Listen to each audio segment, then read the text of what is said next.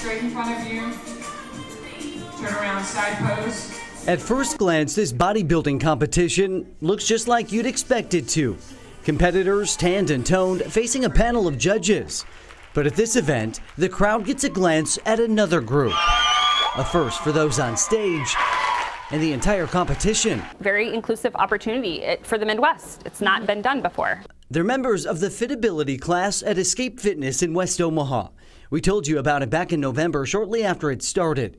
It was created when bodybuilder and mom Sherry Elbin couldn't find a weight training class for her daughter who has Down syndrome. We did it just to like help Katie with her goal personally. So to help the other um, other kiddos, I kind of take them under my wing. I kind of feel a little per- mother henish. Elbin teaches the class and says since it started, it's exceeded expectations, improvements being seen in ways well beyond physical fitness.